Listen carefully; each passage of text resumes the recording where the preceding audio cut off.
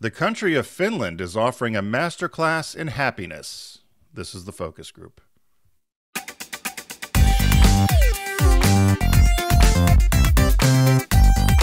They're all business, except when they're not. It's the Focus Group with Tim Bennett and John Nash.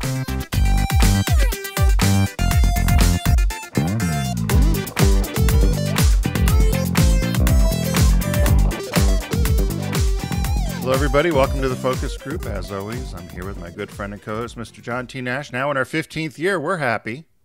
Seems to be an awful lot of happiness things lately. When I saw this, yeah, True. our shop talk involves happiness with the the country of Finland and why people are so happy. So we'll get to that later in the show. And uh, but before then, we've got our usual uh, lineup here where we do our our banter, our catch up. We do a story that caught our eye. We do a business birthday, the only show in the universe that does a business birthday, and then we're going to visit with our friends at Deep Discount all week or all week, all month during September. We've been celebrating the Criterion Collection, and Mr. Nash conducts this game called Pick That Flick, where he plays a movie clip, and uh, if you guess correctly, you can win something from the Criterion Collection. And uh, brought to you by Criterion, brought to you by the Criterion Collection, our friends at Deep Discount as well. So Mr. Nash will clue us in on Pick That Flick later on in the broadcast. So how are you doing, John? I'm doing good, and I'm I'm wondering like so these are uh, I went to see the eye doctor uh, to get my checkup, and I hadn't had my eyes checked in three years, which is not smart. Everybody get your eyes checked. but my my reading prescription was exactly the same. He said you don't have to change anything, so I went ahead and I got these new readers from EyeBuyDirect, like like forty bucks. Well, they're tortoise. They're the tortoise frames, right? And I, I'm thinking as I'm looking at myself on camera, like maybe I'm like Donny Deutsch on MSN on Morning Joe. Well, let's not push it. You'd have to have some sort of clown outfit on with a over. You'd have to be overly tanned with sunspots and and bleached white hair stuck up. But other than that, yeah. Other than that, Mrs. Lincoln, how is the play? Are these Um, prescription glasses or are they readers? They're my they're readers, but they require they are prescription. One one eye I am uh, was it a um, astigmatism, so one eye is a little bit different than the other. But and you got them for how much? Oh, af- after all the discounts they give you, forty two dollars. Oh my God! These stupid things I have on were like five hundred dollars. Yeah, yeah, because look at your. That's Bob and I all love the frames that you have because it's basically the, you know, the frameless thing. So it's the lens and then the yeah, they're not yeah, cheap. they're Those- progressive. It's a progressive lens too. Another so yeah for driving and everything. either. And of course, I picked an Austrian frame. So you know, As if there's So- someone's flying over from Austria with. to Rehoboth Beach. Maybe So they you get- fly into Cape May, take the ferry down. Of course, I sat on them once, you know, and, and you I know, remember need- that. I- I but I need to get another pair. I need a backup pair, so maybe I need to. That's why I ordered a bunch of these. So I have like a pair here. I can, yeah. I, I just don't want to be without because it's that that's that thing where the eye doctor's like, "Hey, your eyes are doing great. They're the same as they were in 2020, and Wow. keep going." And I'm like, "Yeah, but I still need these for small." Yeah, well, it's it's older age. Hey, remember um a a week or two ago, I had a caught my eye about a woman who bought a um, N.C. Wyeth painting in a thrift store for four bucks because she was like frame shopping. Wanted the frame. Well, yeah. Well, the auction happened um, that that where they sold the NC Wyeth, and it went for hundred and ninety one thousand dollars. Can you imagine? Did she sell it? Four dollars. One hundred and ninety one. That's the return on investment is phenomenal, right? I was in Ohio and thought I would. I came across a couple of you know famous paintings, and I remember I, I took pictures of them and sent them back east here to friends, to Richard Mm-hmm. and Bruce and a few other people, and all that came back was no, no, no. Did they know that so so quickly? Well, I, I, I said this looks just like Bruce. Our friend Bruce has this. He's a pretty well renowned uh, mid Atlantic art dealer and antique dealer, and he had this picture that I've always loved. It's it's somewhat of an Art Deco boxing thing, and I thought I came across almost the exact similar photo or similar painting in this little thrift store in Ohio. So I'm like, oh my god! And it, it was three hundred dollars, and so I take a picture of it, and I just get back no. And I said, "Are you sure?" No. No. Should I buy this? No. There is a really famous painting, a couple of them actually, um, of boxers in a ring, and I thought that that was done in the 30s. Maybe is that what you're? If, I don't know if you're thinking yeah. of that artist. Well, he Well has known. some, and they yeah, and they're you know they sell for thousands, and so I'm thinking, oh, here's one of them. It's three hundred dollars at the thrift store, and uh, we had a horrible frame on it, and it looked like somebody took bedposts and made a frame.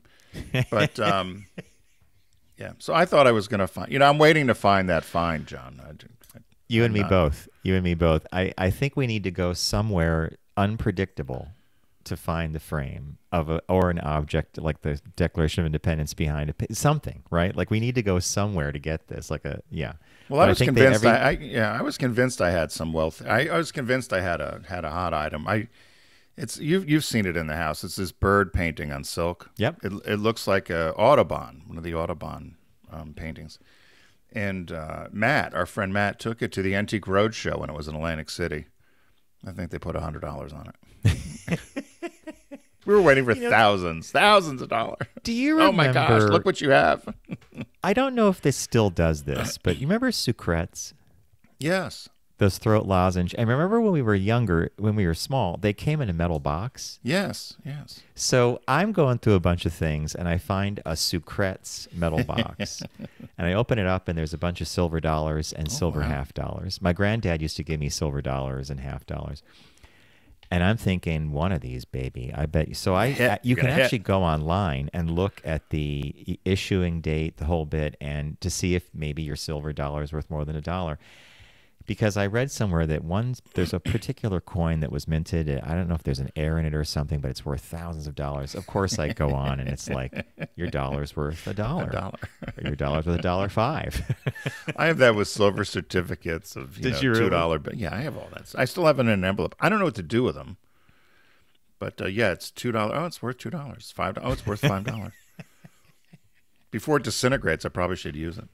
From the I- 30s, I think one of the. It's like savings bonds. You know, I found an envelope. Maybe it was about six years ago. I found an envelope filled with savings bonds, and, it was a lot, right? And I thought, okay, I am going to be cashing out. But you know, basically, the bond once it matures, that's it. No it's matter how long you hold on to it, if twenty five dollars exactly. So I go to the So what do you do with those? Because actually, our our friend Carl mentioned that too. Do you just take them to a regular bank?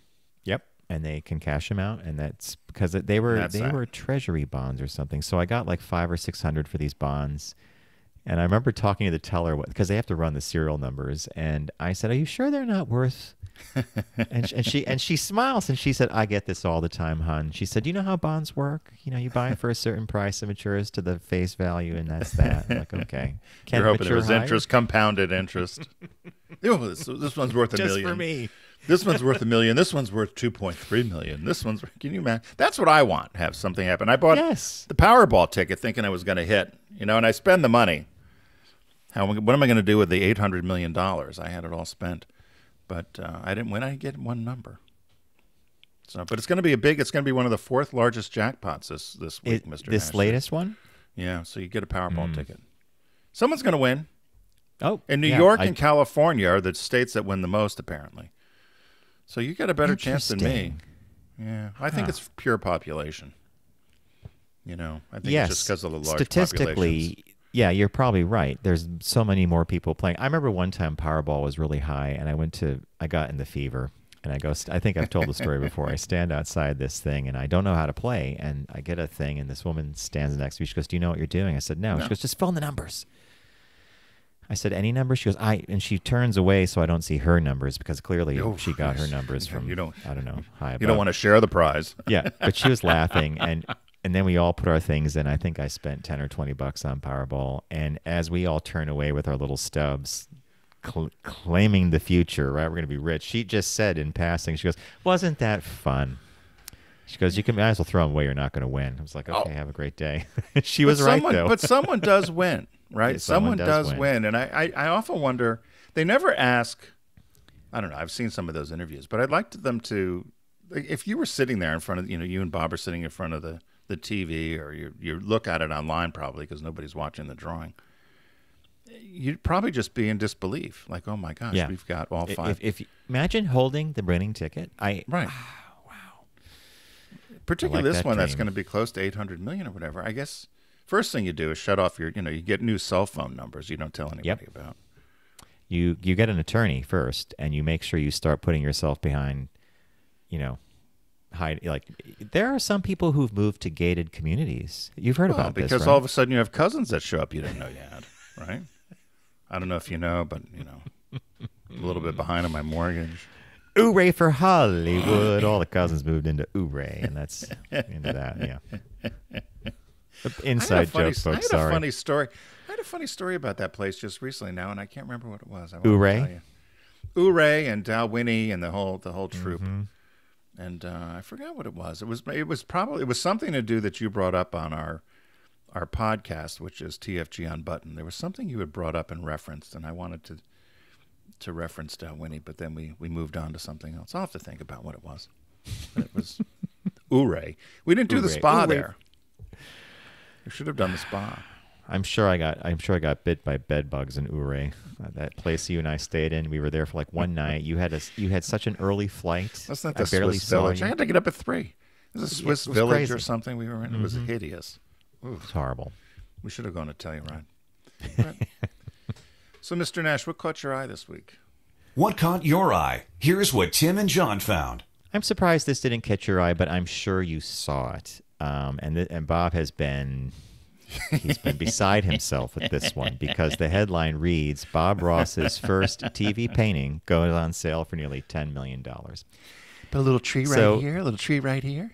Exactly, and so the I'm, if you're watching on uh, YouTube on the the video, um, I put up a picture of him and the painting, and this is the closest they get. Actually, it's interesting. They don't really show the painting that, and I figured out why because they're auctioning it. They don't want people to you know take pics of it the whole bit.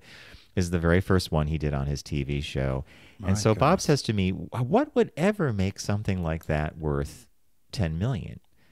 And I said, it's obvious to me. And he said, what? I said, it's not the painting or not the quality of the work. And it's a, uh, a landscape.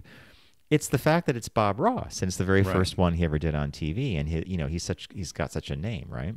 Who would have bought it? I wonder. Did I don't know. It's, but the painting's called a, a Walk in the Woods and a, uh, a Minneapolis gallery. It's the first of 400 paintings that they, they plan to actually sell. But the reason they gave this one, as I said a moment ago, the, uh, the, that, that eye-popping number of 10 million it may not get there but is because it's the very first one he did and everybody watched and that tv show is you know that very first episode is what launched his entire career which led to books and supplies and paintbrushes and and scandal later on and then he was robbed of you know there's a and there's documentaries about him. Yeah, him I was going to so- say, have you watched the documentary? It was, I think it was on Yes, I Netflix, wasn't it? yeah I it was, always amazed because I would watch it on PBS. You know, you'd fall on it once in a while, and he was in a dark black, essentially a black studio, right? It was just Yeah. dark, and his picture With with, the light on it, an easel, and he would just put a little paint right here. You know, just very calming. very calm But he, it was amazing to me how he would look like he was just doing, just mixing things and making it look somewhat, I don't, I don't know, just kind of freeform, sloppy, but it looked like a tree, right? I mean, he would do this stuff like we're going to make a pine tree here, tap, tap, tap, tap, tap. He'd, he'd start hitting the, the canvas, and lo and behold, I would think that's never going to work. And then sure enough, it looked like a tree. So, Interesting. Yeah. Uh, Interestingly, he died in 95. he hosted his show from 83, 1983 to 1994. So 11 years, you know, for his legacy. Each episode he spoke directly to viewers. He encouraged to paint with him as he created idealized scenes, etc., cetera, et cetera. I love this paragraph. None of Ross's paintings, including this A Walk in the Woods, would be confused for masterpieces, but that wasn't the point.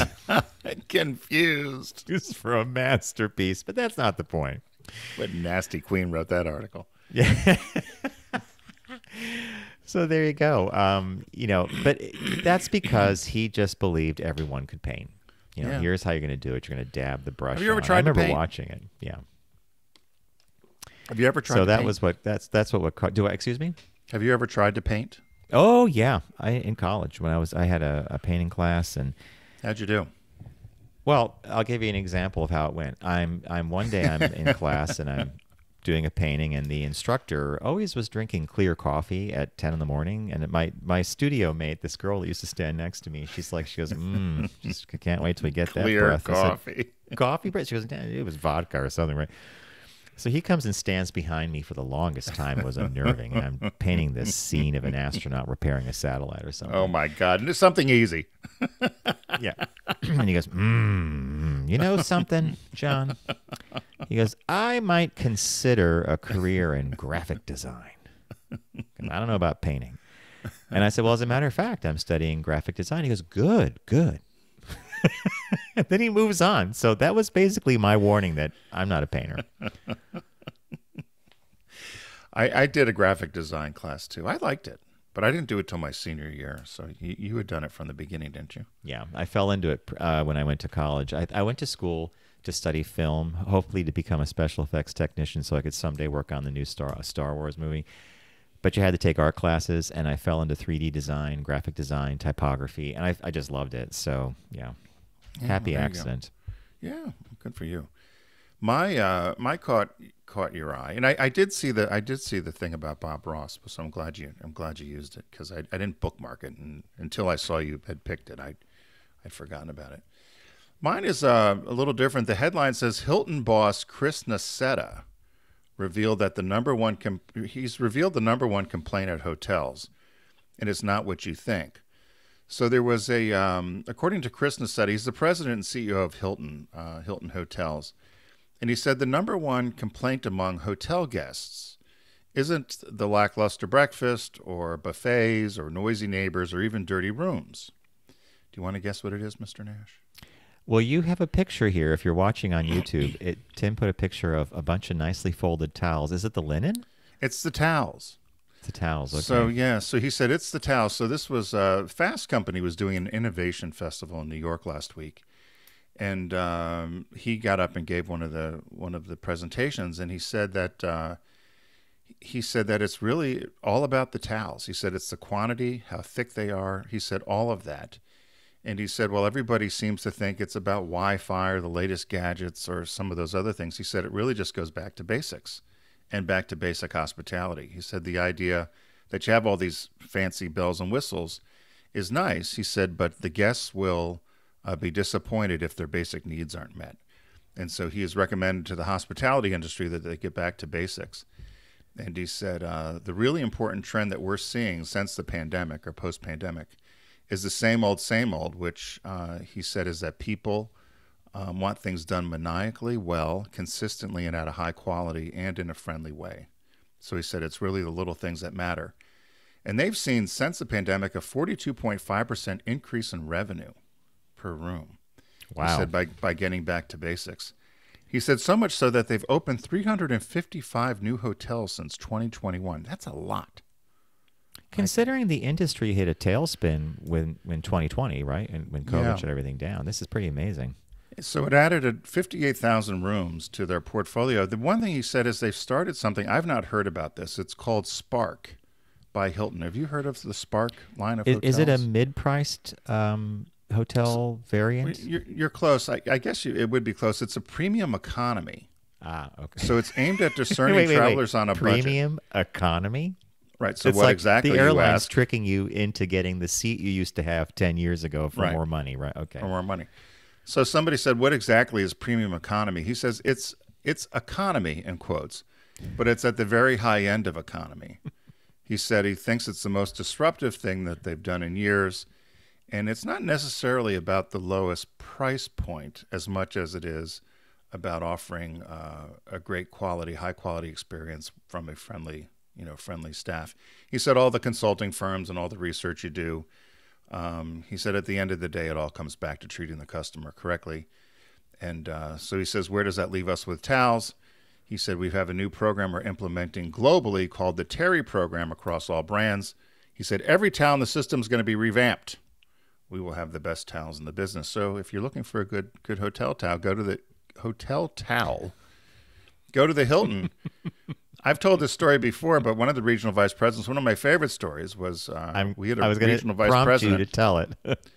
that every year insisted I, because I was in charge of meetings and, and, and through the marketing area and events, and uh, insisted that we have at least one meeting a year at the Ritz Carlton hotels because he and his wife would bring two suitcases filled with old towels from the prior year uh, hand towels and washcloths and beach towels and face cloths, switch them out for the newer ones at the Ritz. So they would, you know, as the linens were brought in, they'd put their old ones out from their suitcase and put the pack the new ones and then uh, of course wait till the next year to come back and re- replenish again.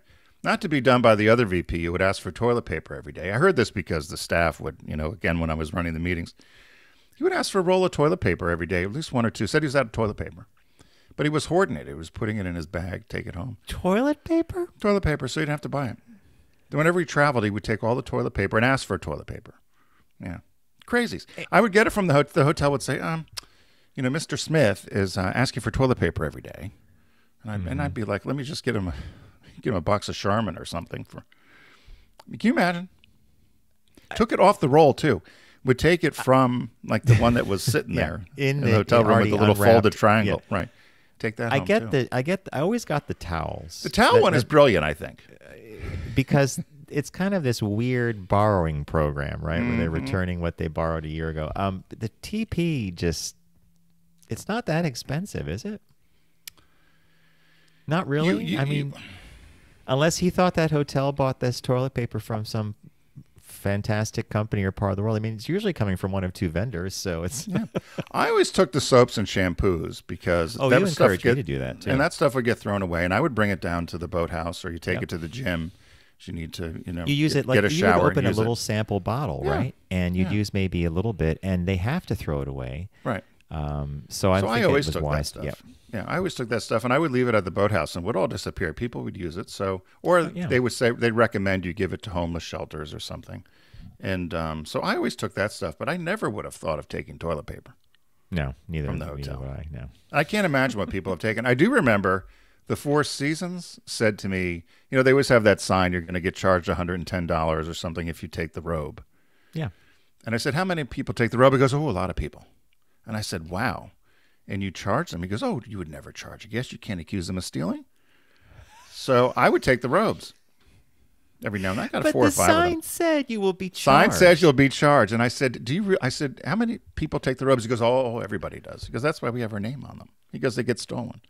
And I said, And so you charge them $110? He goes, No, you would never accuse, never accuse a guest of stealing.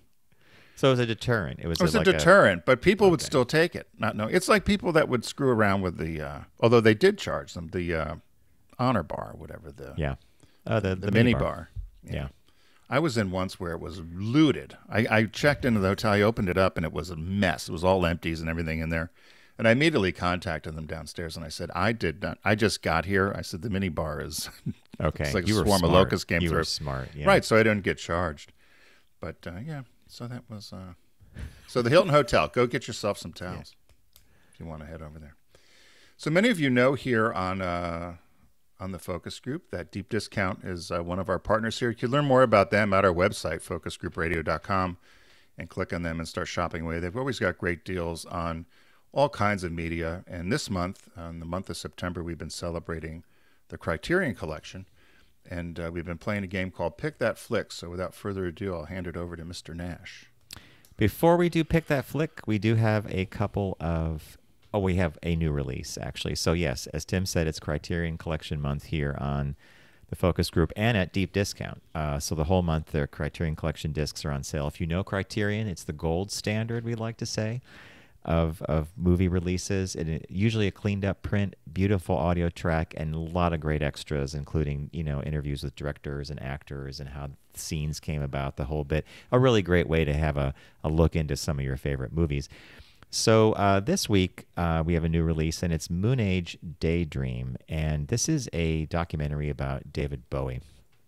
Um, and it wa- and so the director Brett Morgan was granted unprecedented access to David Bowie's estate, and what he delivers is that what they call a visually stunning celebration of the Thin White Duke, which is uh, David Bowie's nickname, career as the always shifting course of Bowie's artistic development as actor and painter as well as a musician. The movie is about 134 minutes, and I think it. You know, I've seen clips from it, and I love this director's style. So I can I can heartily recommend uh, Moonage Daydream, and it's available at deep discount for thirty four ninety nine on Blu-ray or four K Ultra HD, and that is a Criterion disc. Now, because the director was this guy, who I, I knew he had done something else that I loved, this Brett Morgan.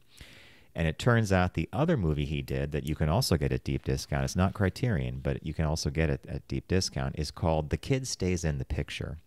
It is an absolute favorite of mine because of the style of it's all still imagery and uh, audio voiceover. It's just really a well done documentary, and it's about studio head Robert Evans, who used to be at Paramount, and he greenlit um, The Godfather and Chinatown. So he had a lot of interesting hits behind him, and and how he became the head of the studio is just a great story, and and how his career went. So uh, you know, Where same the director. heck did you ever see this?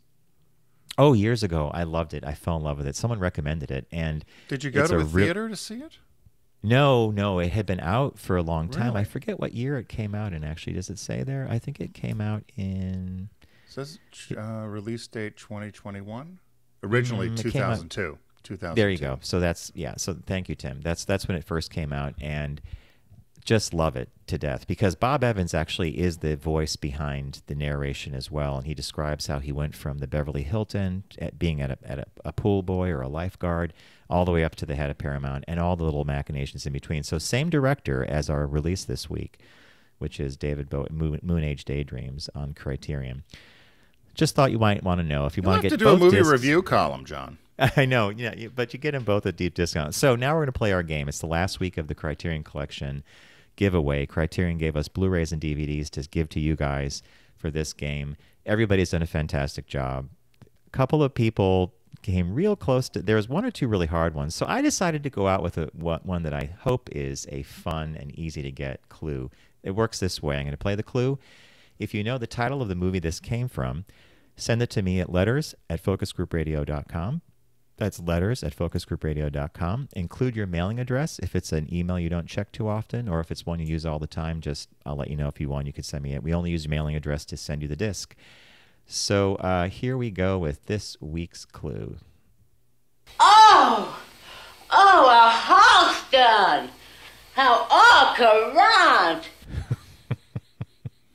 Shall I play it again, Mr. Bennett? You're thinking. I see you yeah, thinking, but right? I, I, I couldn't understand. I, I, I couldn't understand what she said. Or something. well, listen again. Let again. me hear it again. Oh! Oh, a Halston!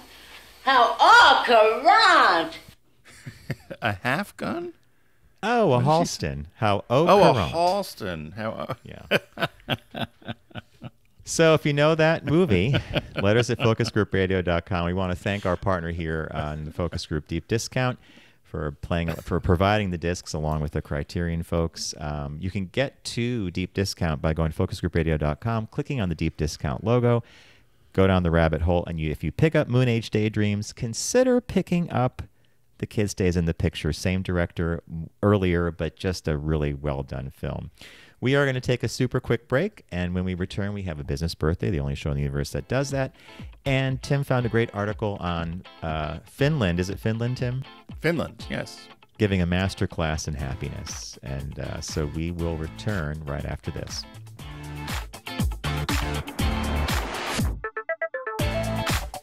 You're listening to The Focus Group with Tim and John. Learn more at focusgroupradio.com.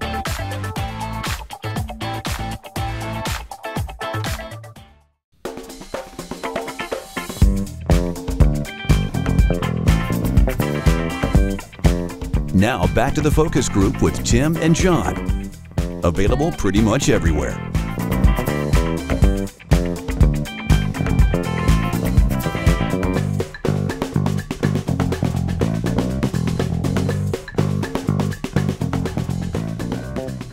Hello, everybody. Welcome back to the Focus Group. Tim Bennett here with John Nash.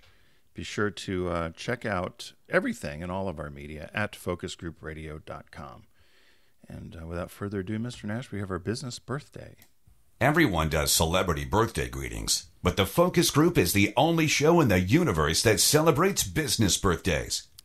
Now, John and I have been doing these birthdays for 15 years. Is it 15 years? I guess it must be, John. Or at least 14. Tim, it's a it's a lot, and yeah, and you're amazing at how you find them. I'll just well, say and that. we and we we we're trying not to. If you're a follower of the show, we try not to repeat any um, over the time, which is tough to do. Now, Mr. Nash is usually celebrated this week because Mr. Nash has a birthday coming up, Mm-hmm. and uh, John would do mine. I would do do his birthday, and we would always have a nice party in the uh, in the studio.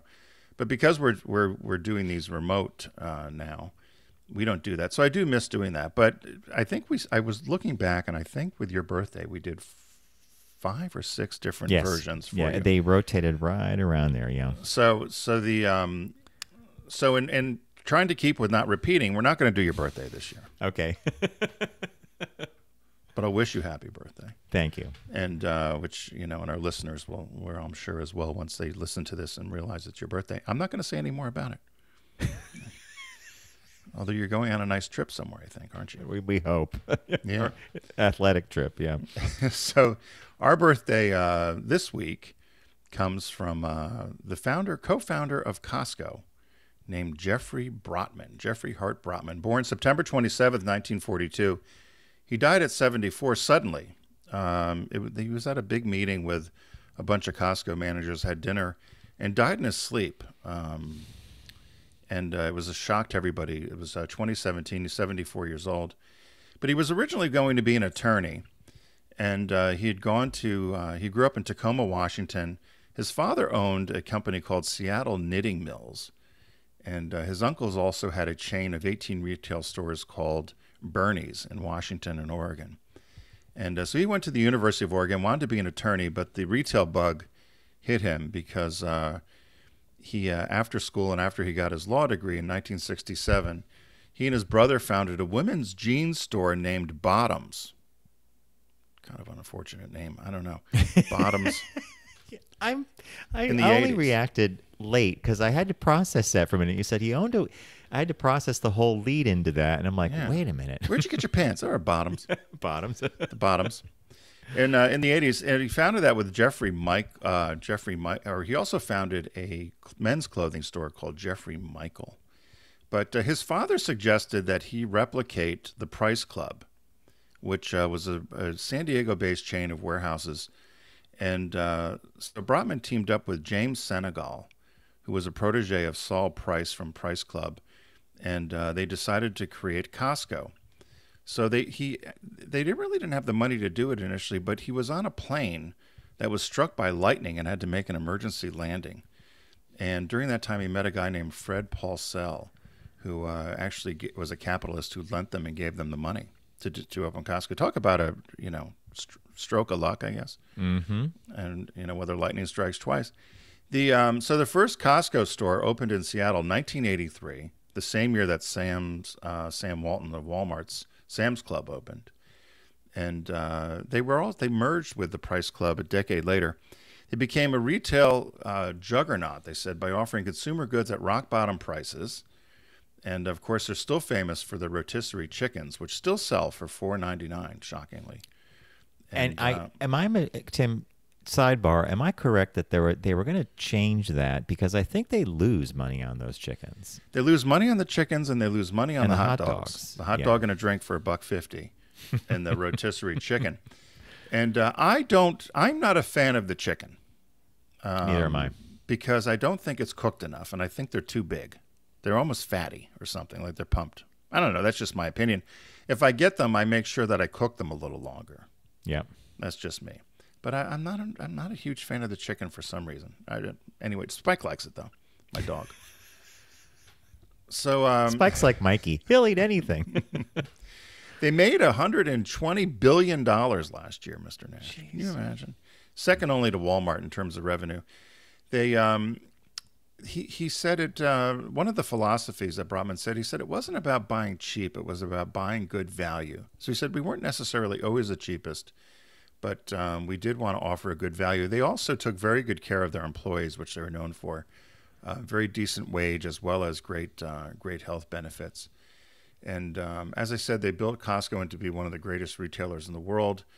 Uh, 120 billion dollars, 738 stores, and uh, also he, they were early investors in Starbucks, so you know, they made some money there.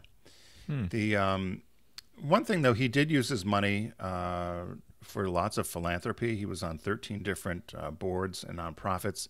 His wife Susan was a former Nordstrom executive. They uh, donated a uh, huge scholarship, student scholarship scholarship fund, which helped hundreds of students at the University of Washington to uh, to go to school. As I said, he died in his sleep in Washington at the age of 74, and they think it was due to heart failure. so he weirdly had what you and I call the millionaire's death, where you go Yes. bed one night and you don't wake up and you're not. But if it was a heart thing, it could have been. Hopefully he he it was peaceful. I you know, but 74 is young to me. Yeah, Oh. he was young. of course it is, right? Yeah, and- and- closer to it. and uh, but he yeah he had celebrated with a bunch of store owners. They said he was a very nice man. He was the low profile one. He he was an expert. They said at finding locations for the stores, not only uh, in the U.S. but also internationally. And uh, he was kind of behind the scenes versus his partner Sinegal, who was more the the public face. But he uh, they said he was very well liked. Everybody everybody adored him. He also later in life, um, he and his wife were involved in a lot of democratic uh, politics in terms of donating and supporting um, Obama and so forth. So, uh, but yeah, so Costco, one of our favorite favorite stores, Costco wholesale. Our, you and I both had an odd experience our last trip. We didn't Recently. find what we. No, Our, you went on a Saturday. I went on a day that they shopped out all the prepared food, and I didn't get my stuffed peppers, and I groused a bit. But I'll go back. I, listen, I'm with you. I was so angry. I actually have had listeners that have contacted me that heard that show when I said I made the mistake of going on a Saturday. and they They're like, told you, "Oh my God, what were you thinking?" You know, people are, "Are you crazy?" But that's what you used to do when you worked the typical nine to five, right? You would have to go "Yeah, Of course, you've had You your had own to go on the business for so long. You, yeah. you had flexible time a little more than Yeah. than most, but yeah, so crazy. So happy birthday to Mr. Brotman. Are you going to Costco soon? I don't need to go for a couple more weeks. No. Okay. I, I'm the same. I gotta. I, gotta get enough for like actually two or three months worth of stuff, and then certain things start to, you know, go, and you're like, ah, I gotta go get the bacon or something like that. Yeah. Yeah. No, certainly. So, um, our shop talk today comes from uh, the country of Finland, and for the sixth year in a row, Finland was recognized as the happiest country in the world, if you can believe it or not. Um, I've been to Finland though, and I did like Finland a lot. It was a it was a sleeper for me. I would have never expected to go. I got sent there for work, a work event, and I loved it. I was there for uh, twelve days. I thought it was wonderful. But they're known as the happiest people on earth. Um, there's uh, so the the Department of Tourism, I guess the country's tourism department, last March decided that they were called Visit Finland. They were they announced that they were going to offer ten people the opportunity to come to Finland and learn um, in a master class on happiness, and they had over 150,000 people apply. So since there was such um, an overwhelming uh, response to this, they decided to put um, a master class online virtually so you can go watch it, which I'm going to do. I haven't done it yet, but I want to see what it's all about. And uh, so it's going to take you from um, the, the five steps uh, that they believe, or the steps that they believe will put you on the course to happiness, which include nature and lifestyle, health and balance, design, and food and well being. I thought of you immediately, John, because when I went through these. Well, I read it and I thought, I, I don't know how I stumbled into this, right? Well, it seems like I know we've talked about happiness a bit, and um, but and we'll go through the list of what this one uh, reporter learned um, while she went through uh, from CNBC, I believe it was. While she went through this uh, this master class on happiness. So, what was the first thing that uh, she came upon? First, first big. So they broke this into three big things, as Tim mentioned. I mean, there might be more lessons embedded in this, but the big over the overarching ones. The first one is connecting with nature is important for your mental health, no matter where you live. Um, and she kicks off by saying, As someone who lives in a city, I thought reaping nature's benefits would be virtually impossible for me without traveling far. However, the course taught me that having a relationship with nature doesn't have to look like being in the forest or sailing on a river. It's more about being in tune with our five senses as we walk outside to do the simple things like grabbing a coffee or commuting to work.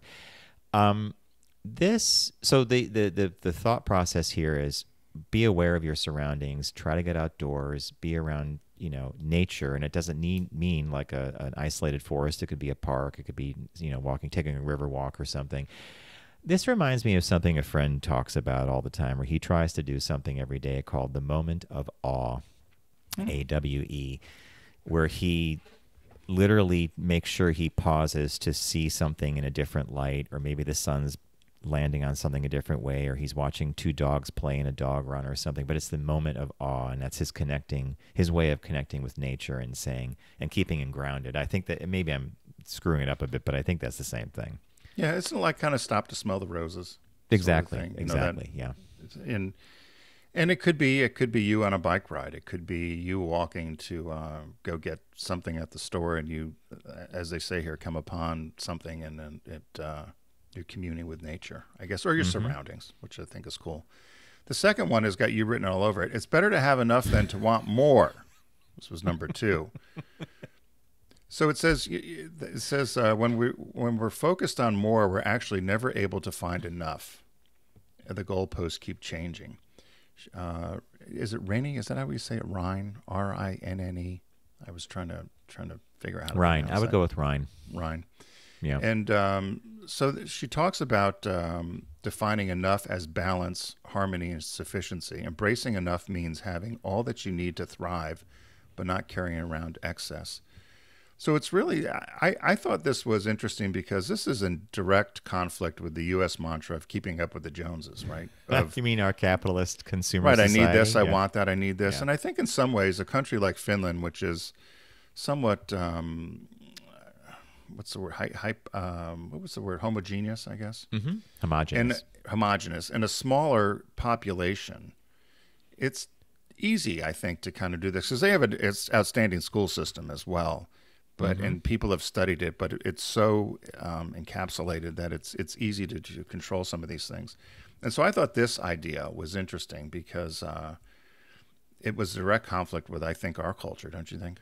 Oh yeah, I called this this section of her article uh, famous architect Mies van der Rohe. Less is more. He would use that in relationship to buildings, stripping down all the artifice and getting to the core of what a building is. But in this case, less is more. How much do you truly need? Right. And um, and this also, and what is that other phrase? Your uh, possessions will possess you Right. you know how much time it takes to maintain things in your life like the garage is filled with this or whatever so i um i'm guilty of being someone who loved to acquire when i was younger i think that's what we did in our 20s right we bought books and tapes Did you acquire CDs. a lot? oh yeah yeah sure yeah uh, ridiculous purchases What know, made the- you change? Because you're you're not that way anymore, boy. no, no, I don't. I don't exactly remember the shift when it occurred, but it happened sometime in my late 30s or early 40s. And suddenly, if you move once or twice and you have to pack everything, then you start saying to yourself, "Why do I have all this?" And you and Tim, you know, it was like, how many times did you move and you still had boxes that were from your years Never in high school and college, right? Yeah, yeah. it's just like you're carrying this whole freight train of baggage. So now I'm really like I'm crazy about being minimalist and to the point of being OCD where if I get some new shirts a bunch have to go and I can't make a decision I'm like caught in a ma- it's crazy. But yeah, less this is about less is more and less actually leads to more happiness because there's the objects that you do surround yourself with truly give you pleasure and meaning and they have a purpose and they're efficient. Well, yes, and they don't uh, they don't weigh you down. You know, the one thing that um, I forgot I had highlighted it here, but in the in the passage before about the kind of communing with nature, I want I wondered if you picked this up. They had there's a law called Every Man's Rights in Finland, I saw which, that, yeah. which grants people the right. I thought this was odd. This would never happen in the U.S. It grants people the right to roam and stay overnight in nature, regardless of land ownership. So, can you imagine Mm. if you lived in a nice piece of property and someone just comes and it's allowed? It's it's every man's right. And- And you better hope it's not one of the states that have the stand your ground laws, right? Right. Boom. I, I thought, wow, that talk about it, a different thing. So sorry for that sidebar, but that, no, that that's a popped good sidebar because here that would not happen here in many places. Like, who's on my property? Uh, the the, what was the last three? one, um, number three, is the way you design your space can impact your mental health. Um, in Finnish, we have an old saying that a poor man cannot afford bad quality. And what that means is you may be surprised to hear that good quality for her doesn't mean the most expensive things. Some things, sometimes things can have more value to us because we made them with our own hands or the materials used to make them were sustainable and better for our planet. This whole, there's probably a bunch of lessons in here um, that you could extract or that she probably could take and do separate things with, but it's about designing your space. It's about being mindful of the objects around you and their, and their purpose uh, decluttering is definitely something and and setting up your space that it feels easy and natural for you to move into work from sit in front of a window get stuff done i do this with my office i sometimes have these like kind of crazy. You know how dogs have zoomies. I I, I kind of Right. have purge zoomies, where I just look at me. I look at a shelf and I'd be like, that shelf is filled, and I'll go crazy and throw some stuff or donate it actually. But it's about making a nice space for yourself. How I, I this one to me, I, I was trying to think about this, and I was wondering whether I have. I don't know if I. Do you have a favorite space in your house?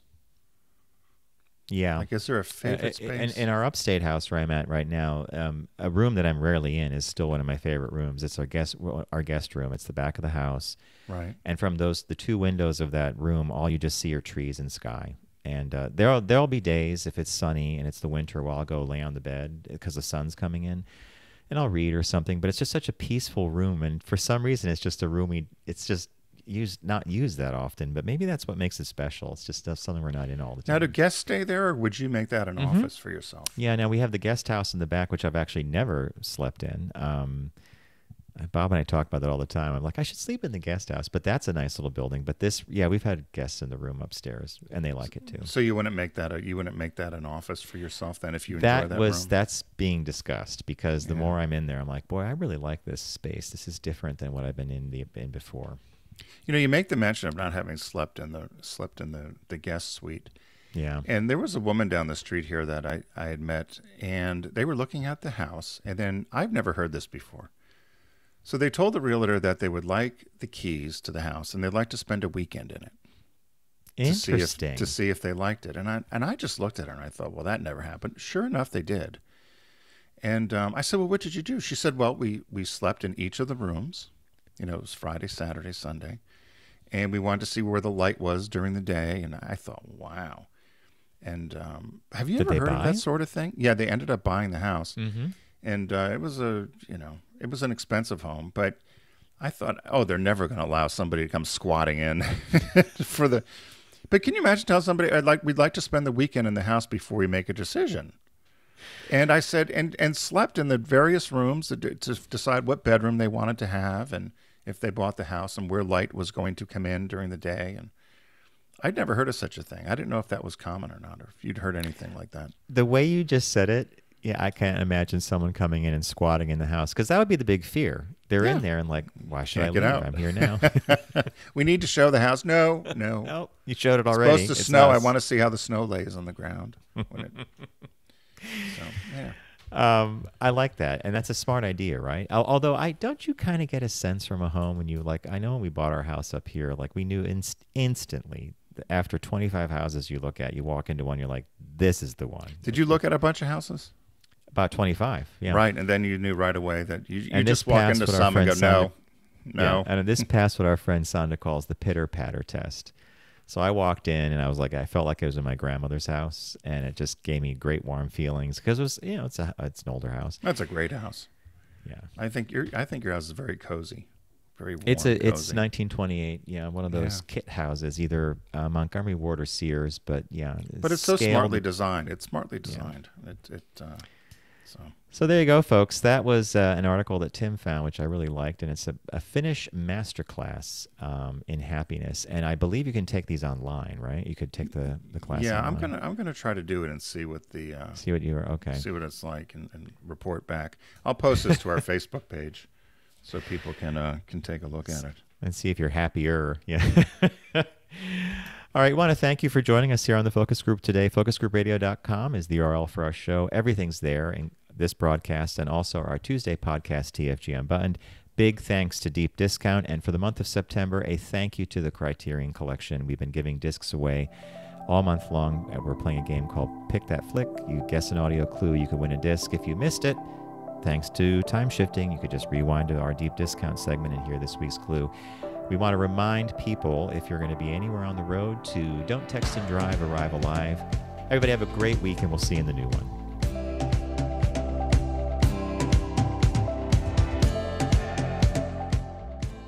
It's the Focus Group with Tim Bennett and John Nash. Accessible on all platforms. Subscribe, like, and rate us on your platform of choice.